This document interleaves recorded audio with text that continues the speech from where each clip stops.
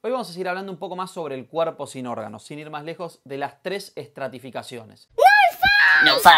Deleuze nos dice que el deseo es como el plano de consistencia, es decir, lo opone a las concepciones habituales en las cuales se caracteriza el deseo como el llenado de una falta. Justamente, y Deleuze y Guattari plantean que el deseo es productivo.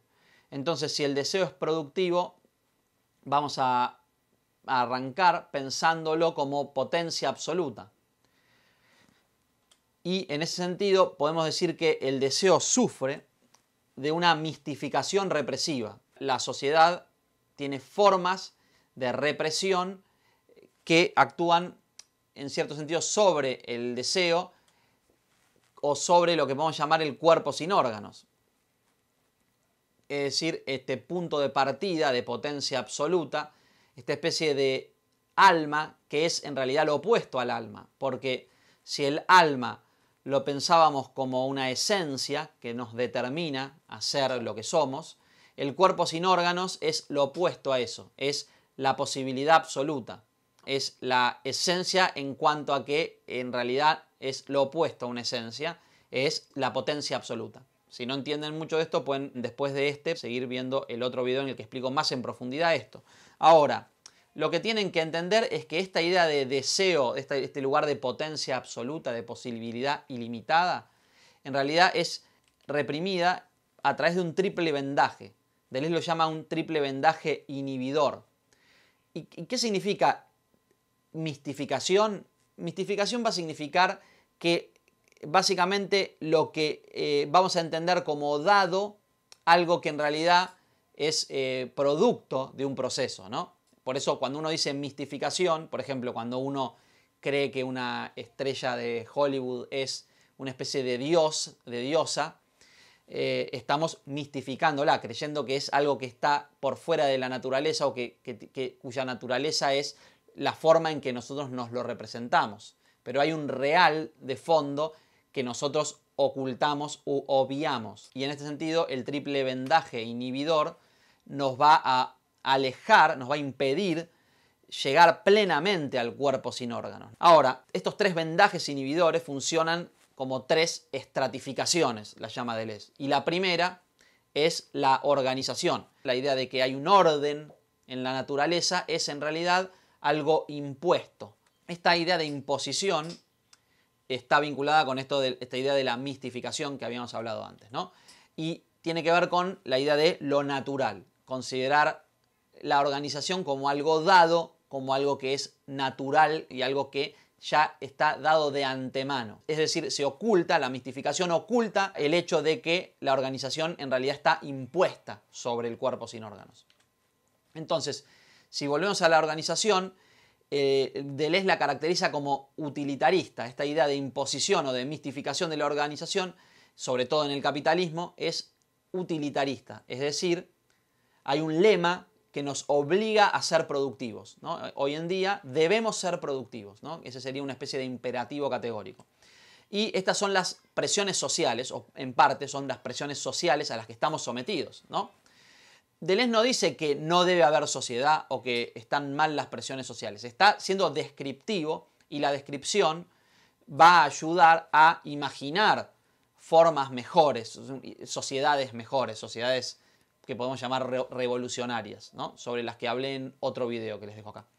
Ahora, esta idea de lo natural, ¿no? de la naturalización, de la mistificación de la organización, de la imposición como algo dado o natural, genera dos, digamos, dimensiones. Una, la real, que se opone a la representativa. Es decir, la representación aparece acá como lo pensado como natural, pero que es en realidad falso. Es decir, la representación, la forma en que nos figuramos la realidad, nos la representamos como lo natural, es en realidad algo impuesto desde afuera y se opone a lo real. Lo real es justamente algo que no podemos simbolizar, algo que no nos podemos representar. Deleuze va a hablar de una doble articulación, ¿no? en donde eh, tenemos por un lado lo real que está articulado con lo representado. Deleuze da en una de sus clases un ejemplo que tiene que ver con, la, con la tonicidad muscular, con la idea del músculo. Nosotros podemos pensar en el músculo como diferentes fibras eh, o diferentes pequeñas células, unas al lado de las otras, que ante una señal actúan de cierta manera. Pero el músculo en sí, como una unidad, es en realidad una unidad estadística. ¿no? Este movimiento se produce por en realidad el movimiento de millones de micropartículas que, se están, que están haciendo cada una un movimiento diferente. ¿no? Por ahí una hace esto, otra hace esto, otra hace esto, otra hace esto, y todas juntas forman el movimiento, un movimiento que parece unificado, por ejemplo el movimiento de este brazo, pero que es en realidad estadístico, es decir, hay millones de partículas que se están moviendo para dar el movimiento aparente de una sola cosa. Esta idea de la escala macroscópica y la escala microscópica, la relación entre estas dos cosas, él la trabaja en muchos de sus libros, especialmente también lo trabaja, eh, o lo yo lo compararía con la forma en que Leibniz habla de las pequeñas percepciones y cómo se aunan con la gran percepción. Y esto lo trabaja él en el pliegue. Si ustedes quieren ver el, video sobre Leibniz les va a ayudar a entender y, después eh, todavía no llegué a esto en el curso sobre el pliegue, pero después Deleuze hace un trabajo muy parecido cuando compara la relación entre la química inorgánica con la química orgánica, como si hubiera como dos estratos que están plegados uno sobre el otro, como si la física orgánica en realidad fuera un plegamiento de la física inorgánica. En realidad la física orgánica es física inorgánica también al mismo tiempo, ¿no? Por eso hablamos de doble articulación. Ahora, cuando llegamos a la significación, que es el segundo estrato, ya nos encontramos adentro de la representación. Es decir, cuando antes había una separación entre lo real y la representación, ya estamos adentro de la representación para encontrar el segundo estrato, que es el estrato de significación. Y este estrato de significación ocurre dentro de la representación y ocurre entre el significado y el significante. Ya entramos en una zona en donde Deleuze empieza a trabajar conceptos que pertenecen a la semiótica, a la lingüística, ¿no? Para poder entender esta idea de la significación tenemos que entender mínimamente a qué se refiere Saussure con esta relación entre significado y significante, que es tan importante también para Lacan, ¿no?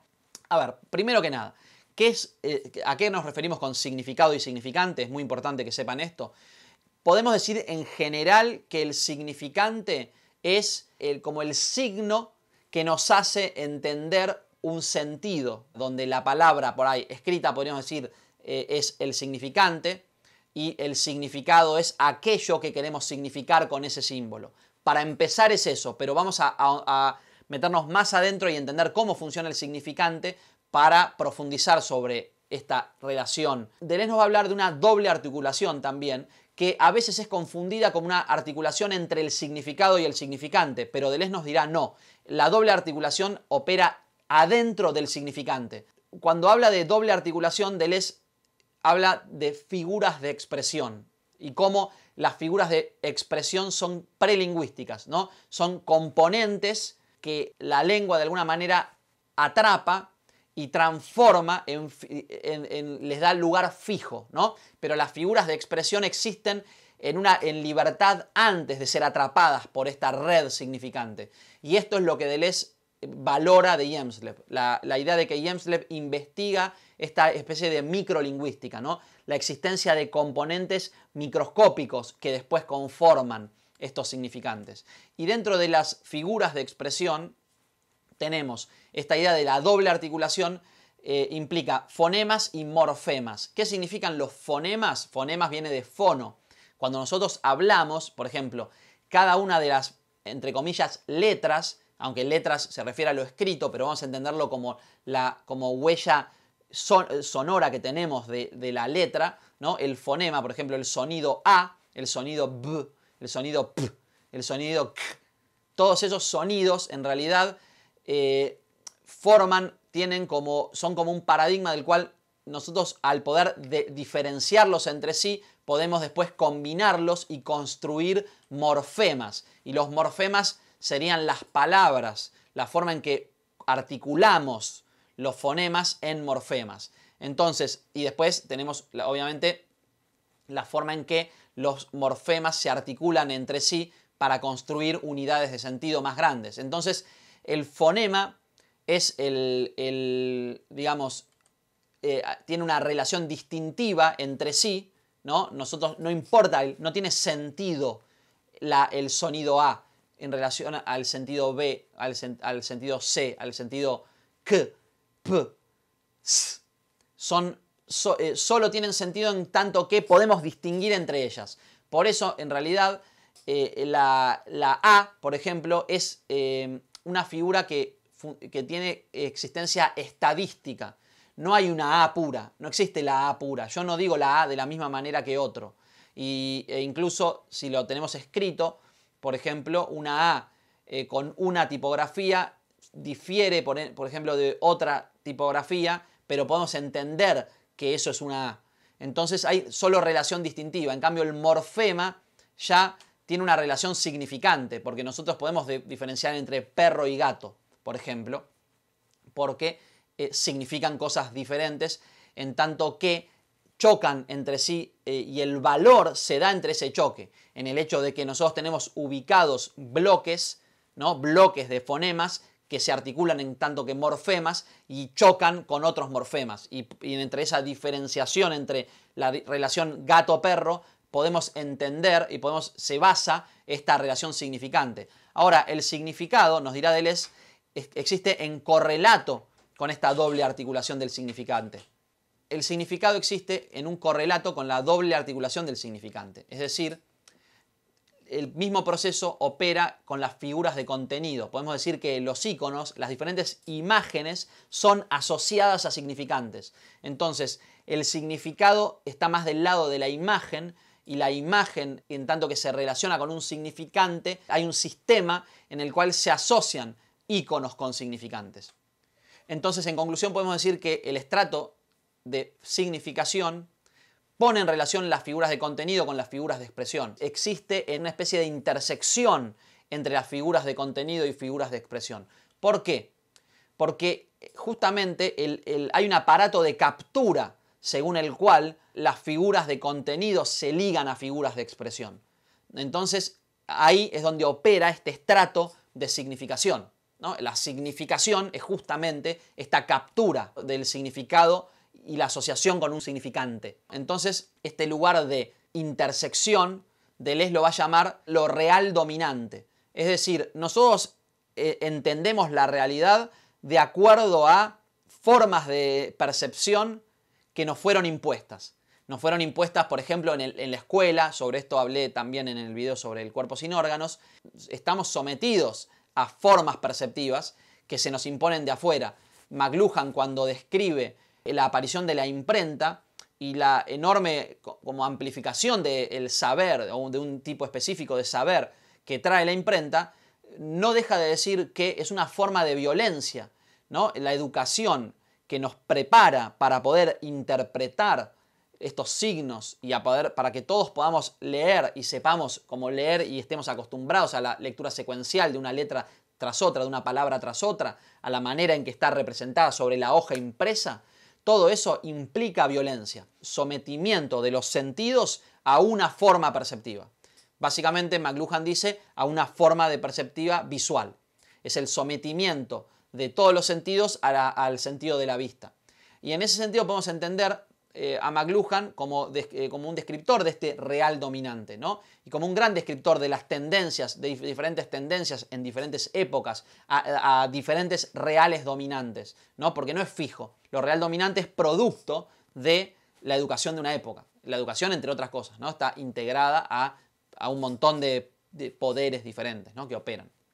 Ahora, por fuera de lo real dominante, está lo real enmascarado. Es decir, lo que creemos que es lo real es en realidad una representación y lo que dejamos afuera es eh, algo que tenemos reprimido, que no vemos porque está como tapado, enmascarado. ¿no? Entonces el estrato, justamente esta idea de, de que los estratos inhiben al cuerpo sin órganos, está vinculado con esta idea de que aparece en la intersección de esta captura de las figuras de contenido y figuras de expresión, aparece esta máscara que nos impide ver lo que está afuera, que es lo real enmascarado.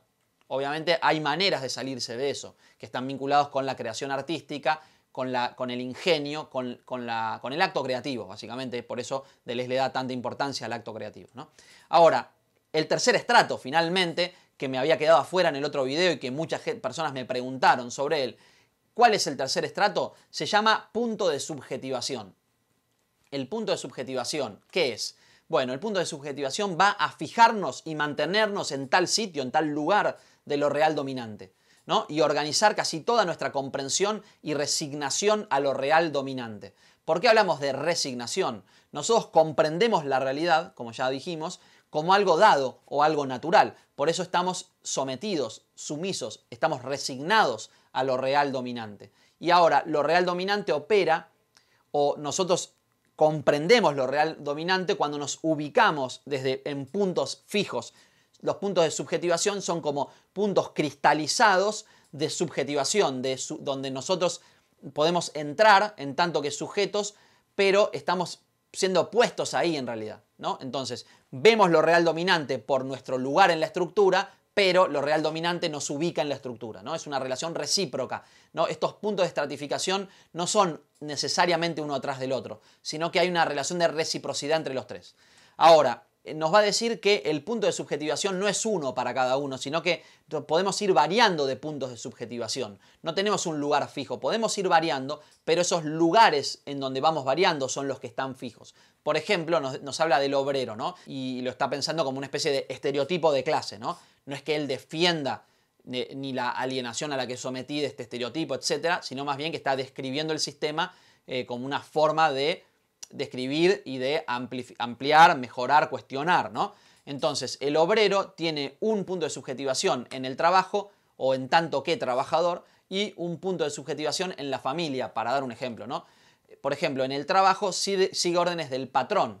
Y este patrón es un personaje icónico, es una figura icónica, tiene un sentido fijo muy importante. Nosotros, en tanto que obreros, nos ubicamos en relación a él. Por eso el, obrero puede decir, bueno, me voy a casa porque el patrón me dijo, listo, te puedes ir a tu casa. Por eso seguimos las órdenes del patrón, porque hay una figura, está fija la figura del patrón y fija la figura del obrero y son puntos específicos de subjetivación. Para el obrero el patrón es un ícono y eh, justamente se representa la vida en función de estos íconos que lo administran, que lo dominan, que, eh, ¿no? por lo menos cuando está en el trabajo. Ahora, ¿qué pasa cuando va a la familia? Ahí él ubica un lugar que podríamos pensar de privilegio, entre comillas, de ser el padre o el marido. ¿no? El padre tiene un lugar central, pero también está sometido a, las ciertas normas de vinculación con la mujer, por ejemplo. ¿no? Entonces, la mujer también, por supuesto, sometida a las normas sociales, por ejemplo, va a tener eh, una obligación o va, a tener una relación icónica con la forma de vestido. Por ejemplo, ¿no? este es un ejemplo que da Deleuze. Deleuze nos dirá, el marido ama al vestido más que a su mujer. ¿Qué significa esto? Hay algo de la investidura, es decir, las formas icónicas que rodean a esta figura de la mujer, ¿no? que eh, por ahí la, mujer, en tanto que objeto real, eh, no, no es lo que está poniendo acá como ejemplo, sino no es el punto de subjetivación, sino que el punto de subjetivación obliga a la mujer a posicionarse en un lugar específico en donde tiene que tener un tipo de vestimenta específica para complacer al marido, por ejemplo, ¿no? Y entonces por eso esta idea de que en realidad lo que hace que el marido la ame, entre comillas, es la investidura. Todo esto está describiendo estereotipos sociales, por supuesto, ¿no? Pero estos estereotipos sociales son los que animan, ¿no? en cierto sentido, a la sociedad. Por eso podemos decir que las formaciones sociales funcionan sobre estos tres estratos, ¿no? Y hay lemas, tres lemas correspondientes a estos estratos que nos dicen, por ejemplo, en primer lugar, estarás organizado y si no serás un depravado. En segundo lugar, significarás y serás significado, interpretarás y serás interpretado, de lo contrario serás un peligroso desviado. Y en tercer lugar, serás subjetivado, es decir, fijado. Tu lugar será asignado y solo te moverás si el punto de subjetividad te lo dice. De lo contrario, serás un peligroso nómade. Tres exclusiones aparecen entonces. El depravado, el experimentador y el nómade o nómada. El depravado tiene que ver con la organización, no es el desorganizado. El experimentador es el asignificante, el que produce objetos que son de difícil interpretación. Y el nómada o nómade es aquel que no tiene un punto de, subjetivación o que no se ubica, no se permite, no permite que se lo ubique en un punto fijo.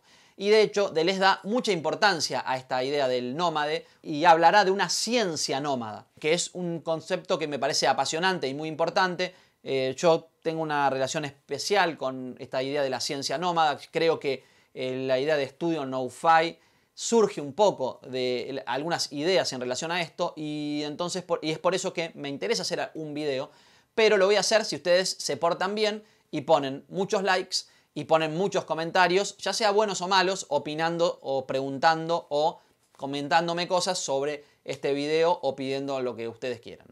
Y si no están suscritos, es hora de que lo hagan ahora mismo. Gracias.